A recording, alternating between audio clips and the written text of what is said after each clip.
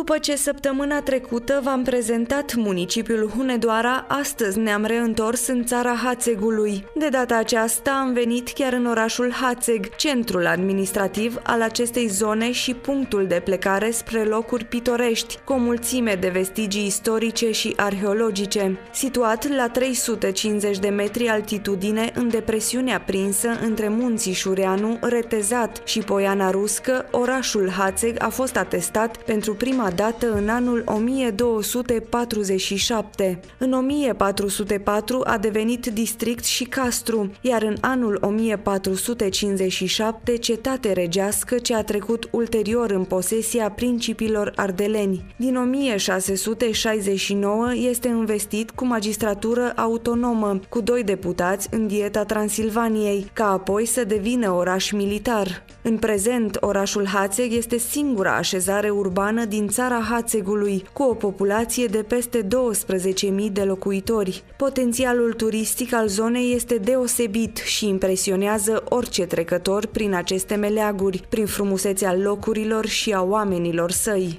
Ne aflăm în orașul Hațeg, un alt itinerariu de suflet pentru sufletul nostru.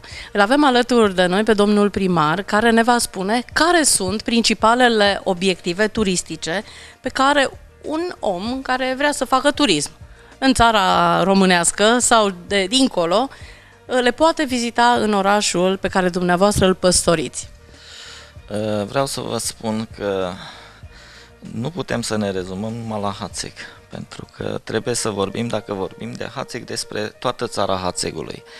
Și când vorbim de țara Hațegului, orice turist care vine în orașul Hațeg poate să meargă și în țara Hațegului pentru că localitățile din jurul Hațegului locurile turistice din jurul Hațegului sunt foarte aproape și atunci normal că nu vin numai în, în Hațeg, dacă vine cineva nu vine să viziteze numai Hațegul și vizitează și alte obiective turistice și din țara Hațegului. Dar în primul rând pot să vă spun că locul cel mai vizitat din, din țara Hațegului este Mănăstirea Prislop, unde cred eu că săptămânal vin între 5 și 10.000 de, de oameni să viziteze acest lăcaș de, de cult al, care este cunoscut prin prisma părintelui Arsene Boca.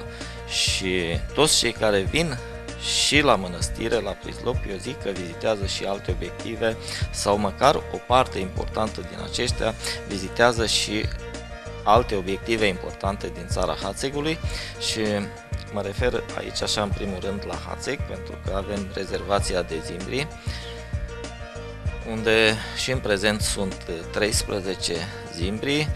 Unul dintre ei a fost schimbat în urmă cu aproximativ o lună de zile, a fost lăsat altul, adus din Belgia, dacă nu mă... din Germania, dacă da, din Germania. Și a fost făcut un schimb pentru că au fost aduși mai mulți, dar uh, o parte dintre ei au fost duși în uh, județul Caraș-Severin, în munții Țarcului, unde urmează să fie lăsați în uh, semi-libertate sau libertate în, în timp.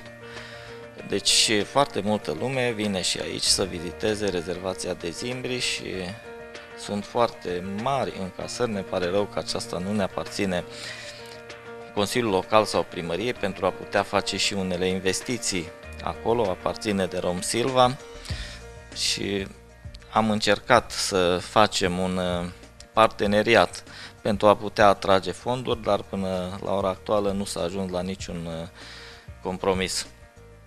Uh, de asemenea, putem să, să zicem că avem aici, în spatele primăriei, avem un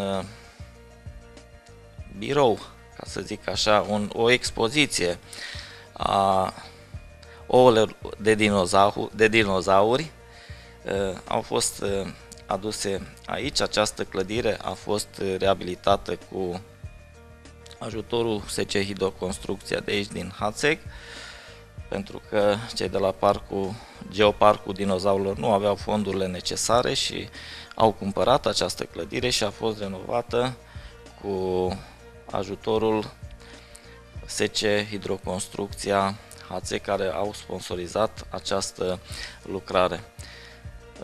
Avem și Muzeul Țării Hațegului, unde, sunt, unde pot fi găsite foarte multe obiecte foarte vechi, atât din Hațeg cât și din întreaga țară a Hațegului. De asemenea, cred că putem să invităm pe cei care vin aici în Hațeg să viziteze uh, biserica de la Densuș, care este foarte veche, datează din secolul al XIII-lea. Avem uh, la Sarmisegetuza, cetatea de la Sarmisegetuza, Ulpia Traiana, avem uh, cetatea Colț, cu mănăstirea Colț, din comuna Râu de Mori, avem uh, în apropiere aici biserica de la Sfântă Mărie Orlea, parcul de dinozauri de la Sânt Petru, de la General Betelot, biserica de la Răchitova și cred că n-am scăpat, nu? Foarte, foarte multe obiective turistice de vizitat. Orașul este micuț, dar uh, cochet. Dumneavoastră vă aflați la primul mandat. Uh, am văzut că toate străzile sunt uh, în reabilitare. Ce planuri mai aveți până la sfârșitul mandatului? Deci nu chiar, nu chiar toate străzile. Aproximativ. Noi pe unde am trecut, toate erau sparte.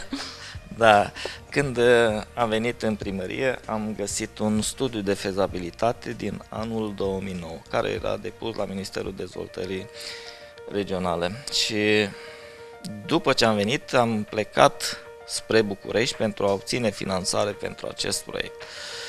În luna a noua, pentru că toți sunt tot felul de discuții și acum mai sunt și mai vorbesc unii că este proiectul lor, vreau să le spun încă o dată locuitorilor din Hațe că atunci când am venit am găsit un studiu de fezabilitate depus din anul 2009 fără finanțare.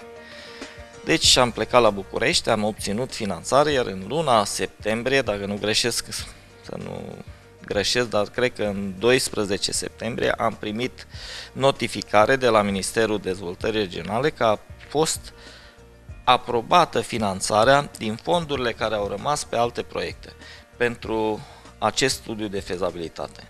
Și aveam obligația ca în termen de 30 de zile să întocmim, uh, să întocmim proiectul tehnic pentru această lucrare.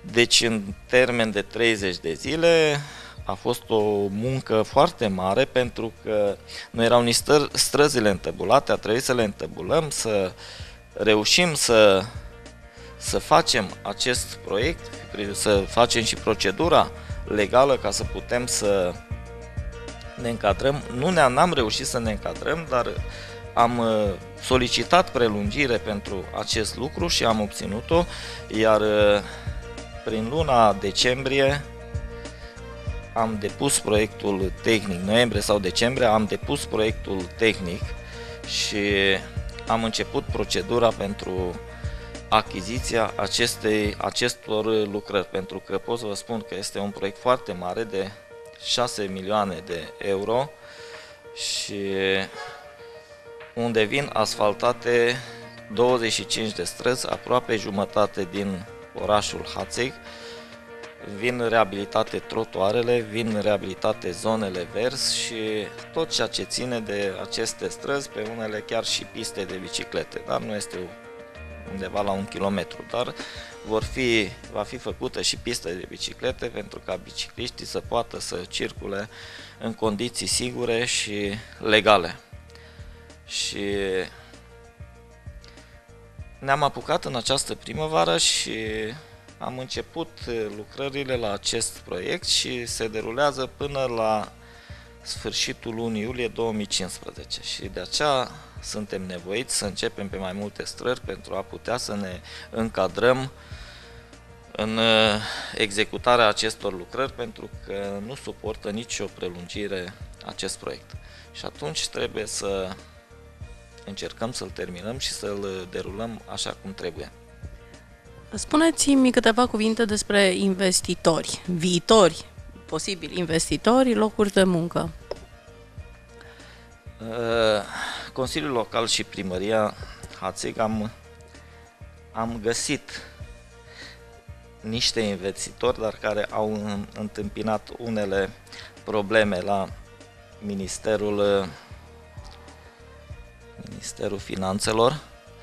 Deci avem încheiat un contract de concesiune pentru 12 hectare de teren la o societate care și-a făcut și proiectul pentru o fabrică de biciclete unde urmau să lucreze în decurs de 5 ani de zile aproape 900 de angajați. Uh, în această fază suntem în stagnare cu acest proiect, dar vreau să vă spun că s-a refuzat, ei au solicitat un ajutor, valoarea proiectului a fost de 24 de milioane de euro, s-a solicitat un ajutor de stat de 8 milioane din această valoare de la statul român pentru creare de locuri de muncă, că tot vedem în fiecare zi la televizor că sunt bani și se intenționează să creeze locuri de muncă, dar când mergem cu oamenii care vor să, să facă aceste locuri de muncă, să întâlnesc tot felul de obstacole. Uh, cei care vreau să vină aici sunt elvețieni, au cheltuit în jur de un milion jumate de euro pentru proiect și tot ceea ce ține de proiect, studiu de fezabilitate și tot absolut audit, tot ce ține de acest proiect. În prezent am discutat cu reprezentantul, săptămâna trecută, am discutat cu reprezentantul uh, elvețienilor în România, pentru că ei mai au și alte firme în România, au aproximativ 1000 de angajați în România și îmi spuneau că intenționează să depună din nou acest proiect în etapa următoare de aprobare a fondurilor europene din 2014 în 2020 și intenționează după luna august să solicite din nou acest ajutor de stat, dar uh, intenționează să caute și alți parteneri care să vină cu ei cu această finanțare și să nu mai, să nu mai uh, solicite acest ajutor de stat. Deci, la ora actuală stagnăm, așteptăm ce vor face ei și dacă reușim să facem, adică să-i aducem pe acești investitori aici, va fi rezolvată problema pentru toată țara Hațegului, că eu vă spun sincer, mai mult de 200 de oameni din oraș 250 nu găsești ca să lucreze la o firmă multinațională și să să facă față, pentru că au alte condiții, așa sunt foarte mulți și fără locuri de muncă, dar când îi chem să lucreze pentru altceva sau îi trimis la altă firmă să se angajeze, invocă tot felul de motive.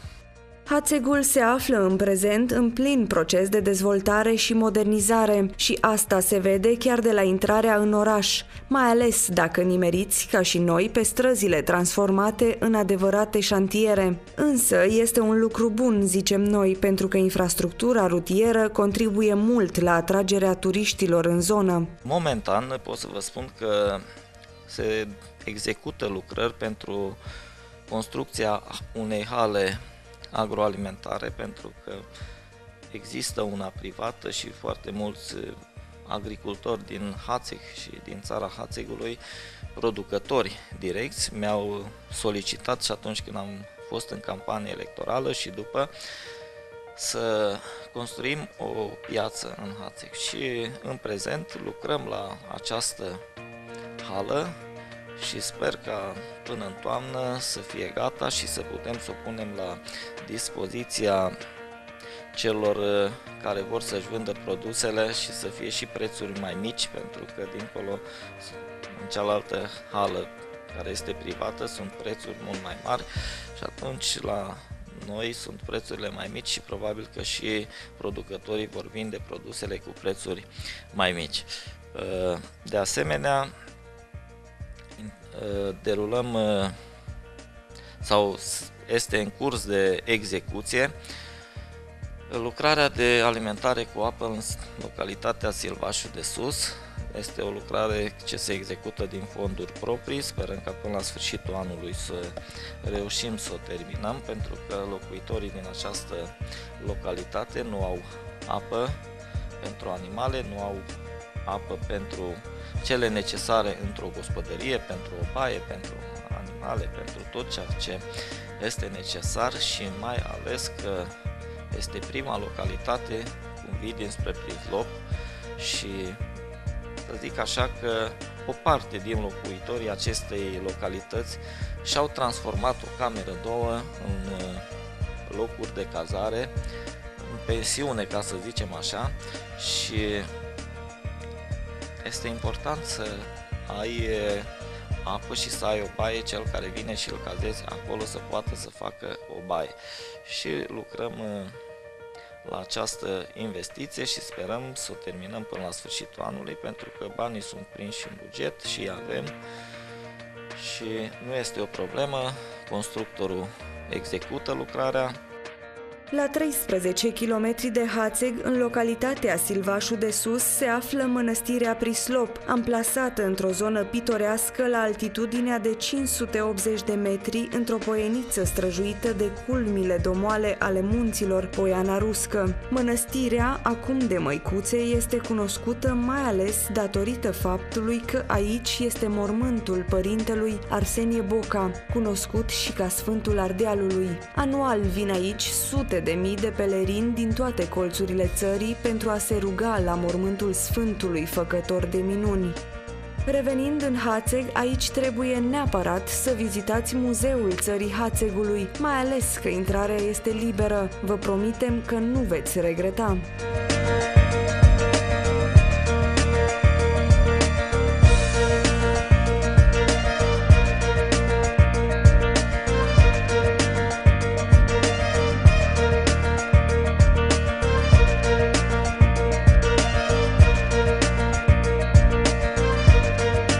Aflăm în Muzeul Țării Hațegului. Acest muzeu a luat ființă în 2004 la 1 noiembrie. Deci are 9 ani și jumătate, 10 ani la 1 noiembrie, mere pe clasa a doua acum.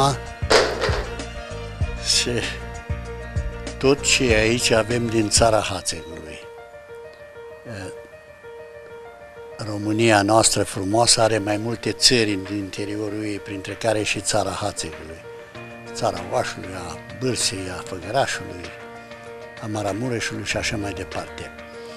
Țara Hațegului face parte din frumusețile Ardealului, așa după cum spunea și Popre Teganu, că e frumos Ardealul, dar în Ardeal țara Hațegului e mai frumoasă ca orice, e un Ardeal în miniatură. Aici avem tot ce a avut țăranul român în gospodăria lui. Meșteșugul țăranului român sau arta populară românească, nu toată lumea e de acord cu arta populară românească, cu toate că anumite lucruri lucrate de țăranca română sau de țăranul român pot sta ori unde lângă orice piesă a unui artist care a terminat o facultate de artă. Meșteșugul țărănesc sau meșteșugul popular se compune din mai multe părți, cusătură, broderie, țesut și așa mai departe, care aparținea femeii. Cioplitul lemnului, care aparținea bărbatului. Țăranul român și-a făcut cu barda, cu rindeaua dacă o avut, dacă numai cu barda, tot mobilierul în casa lui, lăzile astea de zestre, îs lucrate cu barda, în care ținea hainele foarte bine aranjate și parfumate de diferite flori. Mirositoare, hainele lui mirosau de 10 ori când le scotea din ladul mai frumos decât ale noastre cu parfumul care le avem noi astăzi, cu toate treburile astea. Deci, bărbatul s-a ocupat cu cioplitul lemnului, cu modelatul lutului, olăritul la noi cel puțin de 10.000 de ani. Strămoșii dacilor, pe las ce l-au avut și l-au făcut. Ferăria. Fiecare sat avea un ferar care îi ascuță pierul la plug, îi aranja, îi lega roțile la căruță, la car și așa mai departe. Potcovea calul și tot ce avea el nevoie, ferarul respectiv făcea. Deci, Din asta se compune arta populară românească, să zicem așa, că mie îmi place să-i spun artă populară, pentru că sunt anumite lucruri atât de frumoase încât nici nu-ți poți închipui. Așa, mai au și greșeli, că, cum spunea și Marele Lucian Blaga, arta populară românească, dacă n-ar avea și greșeli, n-ar fi chiar atât de frumoasă. Știi? Și avea dreptate. Pentru că arta populară s-a făcut, cum am spus, cu toporul, cu cuțitul, cu briceagul, cu ce a avut fiecare de ascuțit. E, aici, în acest muzeu, avem costume populare pentru femei. Costumul popular pentru femeie, vedeți aici, este compus din ie sau ciupeag, pieptar, brăcire are aici, unde se încinge peste, poale, catrință, față, spate, în spate laibăr, pe cap avea vara batic subțire și iarna un batic mai gros. În picioare, până în 1900, au avut femeile opinci. După 1900 au început să aibă sandale, ghete și așa mai departe, încălțămintea opinca o cam dispărut. Numai dacă mergea la munte sau pe undeva, dar în rest nu mai umblat cu opinci. Ăsta e costumul femeii. Are aici o traistă în care dacă mergea la câmp sau la vite își băga mâncare, are acolo o trocuță mică cu copilul, că nu l-a dus cu căruciorul pe câmp, la secere, la sapă și așa mai departe. L-a dus într-o trocuță mică, înfășat frumos, legat frumos și dacă avea unii să-l agațe sus la umbră, era un pom ceva pe câmp, l-aranja acolo și stătea copilul acolo.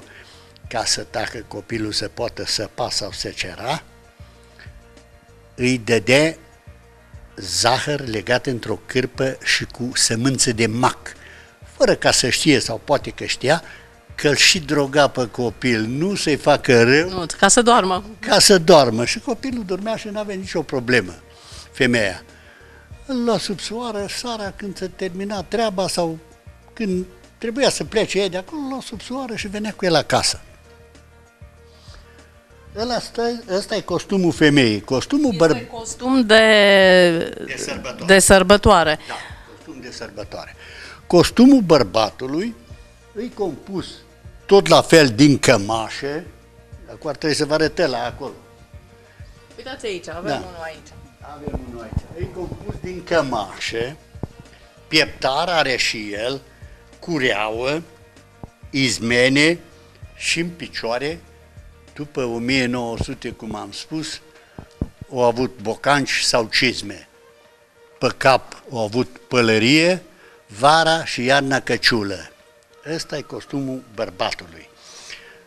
La noi aici, în țara Hațegului, au avut și un pieptar din piele, de miel, înfundat. De, numai aici era crăpat, băga capul și cu două buzunare aici. Nu am așa ceva, am unul care e de la o răștie, tot în forma asta, numai altă Spuneți-mi, vă rog, câte costume populare aveți adunate aici? Dacă vreți să vă spun cinstit, să știți că nici nu știu câte sunt de toate, pentru că am și care nu se expuse aici. În orice caz, câteva sute am. Câteva sute. Uh, De unde le-ați adunat? De unde le-ați cules? Din toate satele de pe țara Hațegului. De la Peșteana, de la Sarme Segetuza, de la Boița, de la Râu de Mor, Clopotiva, de la Fede, de la Pui, de la Valea Lupului, de la Târsa, de la Boșorod, de la Urșici, de la Balomir, Gânțaga, păi toate satele astea, la Vălcele, Deci de peste tot ați colindat toate împrejurimile. Dar peste tot, aici în Hațeg, ultimul olar a fost Pop Alexandru. Și asta e roata care a avut-o el. Uitați cât o, o lucrat, cât s-a făcut și S-a tocit, da. în, în ăsta. toate oalele astea care sunt aici în muzeu sunt făcute la rota olarului. Punea pământul muiat aici pe masă, tăia cu scula asta o bucată de pământ ca să să bage pe sub unghii și punea aici și lucra blidul oala ce avea el nevoie. Ce sunt astea? Astea sunt putinei sau bădâi pentru făcut unt. Se pune smântână groasă, să lasă smântâna o săptămână până se îngroașe bine, după aceea se bagă aici și se bate cu ăsta, un fel de mixer manual, se bate până într-o jumătate de oră ai făcut untul. Se alege untul din zară. Așa. Aici avem o moară manuală. Are două pietre ca orice moară, avea un mâner pe aici pe undeva, locul o pățică asta de aici, făie boabele respective, grâu, porumb, ce avea el acolo, punea aici, învârtea și pe aici curgea făina. Aici e tot la fel, aceeași sculă, dar asta e pentru sare.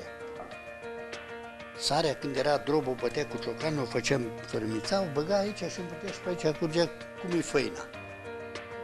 Așa. Acolo un război de țesut. Acolo avem un război de țesut. Ăsta e un război mai modern un pic de cum a fost cel, cel în 1900, pentru că are patru suli.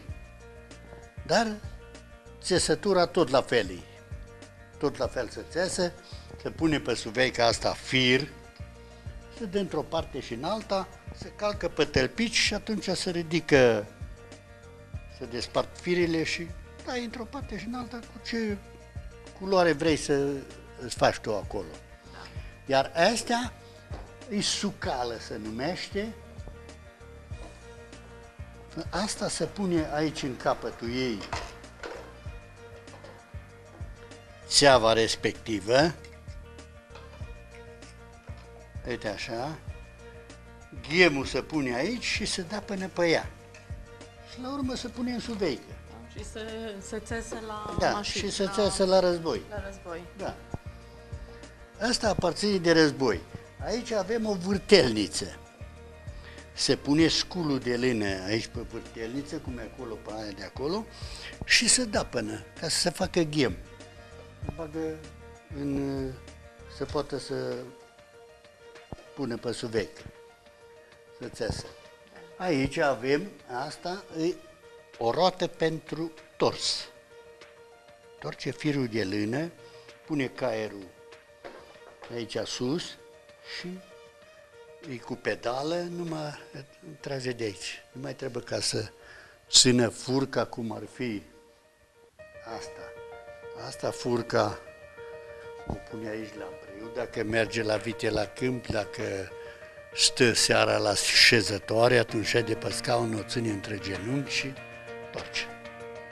Femeile lucrau în continuu, chiar dacă stăteau la poartă și vorbeau. Și ei lucrat aici, ei lucrat numai noaptea la lampă. Pentru că vara n-avea nimeni, iarna numai să lucra, vara n-avea nimeni timp să stea să torcă sau așa ceva, pentru că veneau de la câmp numai la 10 seara, noaptea, până mai făcea ceva de mâncare, până să culca, era miezul nopții și dimineața la 4 erau în picioare. În cât timp ați reușit să amenajați acest muzeu? În 9 ani de zile, În 9 ani. da. Dar cum de v-ați gândit la așa ceva? Apoi eu m-am gândit de mult. După Revoluție i-am zis primarului care a fost atunci, dar nu înțeles, nu, nu l-a interesat treaba. Al doilea primar, i-am zis și lui, i-am zis ăsta e profesor de meserie și facem ceva. O zis, faci, nu era gata primăria. Când e gata primăria, când sucită, când învârtită, când înainte de a nu mai fi primar, au închiriat camera asta pe 10 ani. Pe 10 ani, nu pe un an, doi. La o bancă, la nu știu mai care, acolo s-au dat de la unul la altul, dar 10 ani de zile nu i-a putut scoate afară. Al doilea, al treilea primar care a venit, Timiș Nicolae, el a înțeles. Și prima dată am avut numai alea două camere de acolo. Am așteptat până când s-au până 10 ani Și atunci am scos afară și am ocupat și aici. Spuneți-mi câți vizitatori aveți aici? Mai, câteodată sunt mulți și câteodată nu-i nimeni. Știi? Când vin străini, vine școlile cu copii,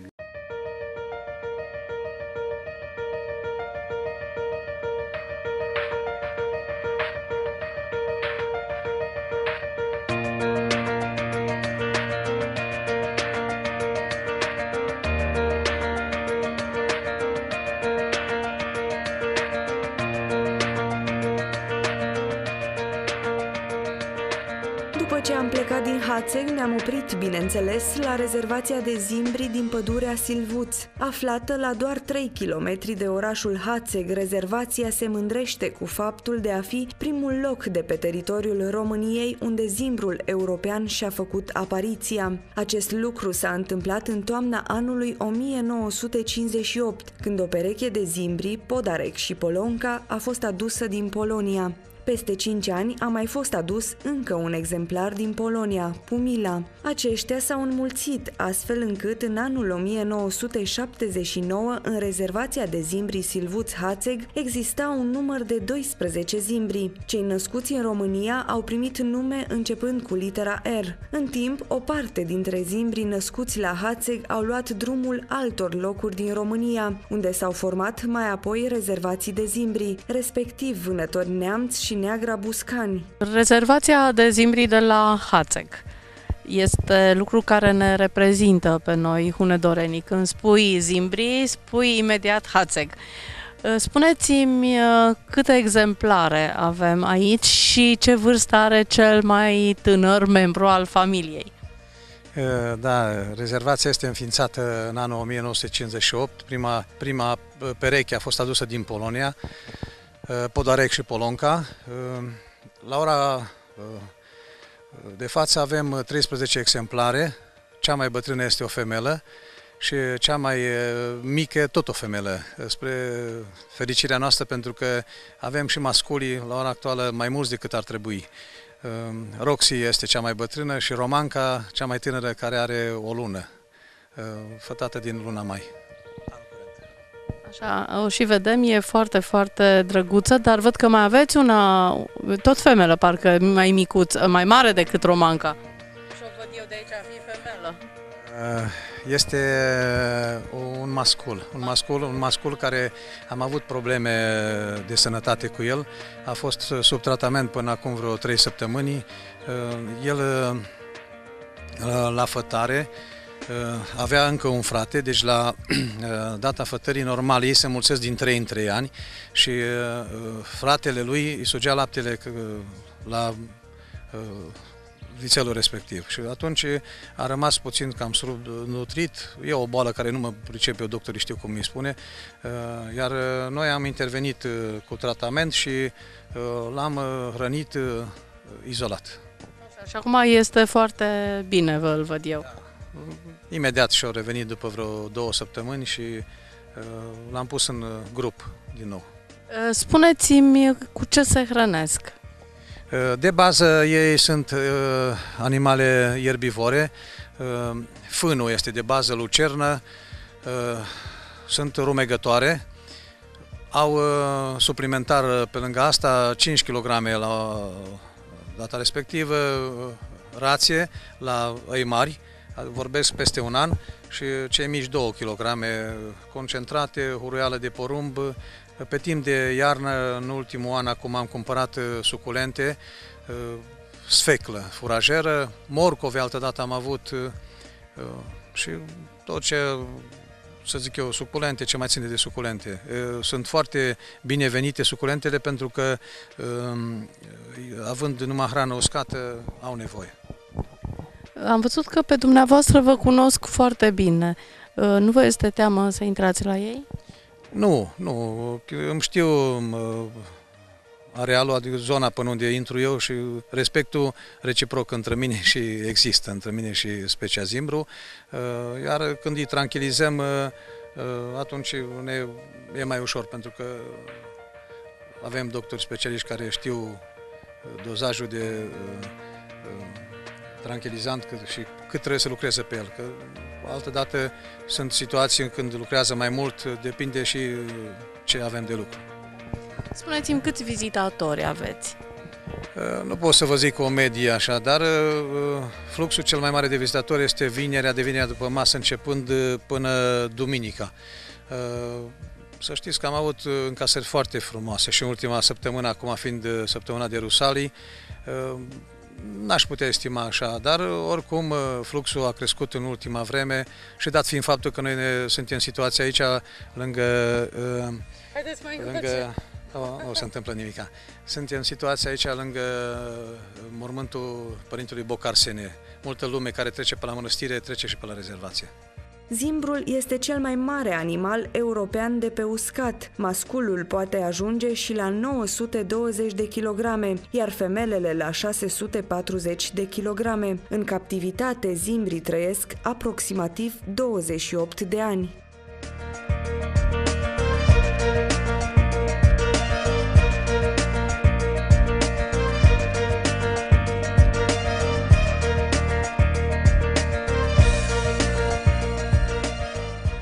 Emisiunea de astăzi a ajuns la final. Sperăm că v-am convins să vizitați aceste locuri extraordinar de frumoase. În Hațeg puteți ajunge atât pe șosea dinspre Caransebeș pe DN68, cât și dinspre Simeria sau Petroșani pe DN66. Cea mai apropiată stație de cale ferată este la doar 3 km de oraș, în localitatea Subcetate. Distanța față de Deva, municipiul reședință de județ, este de 40 de кілометрі.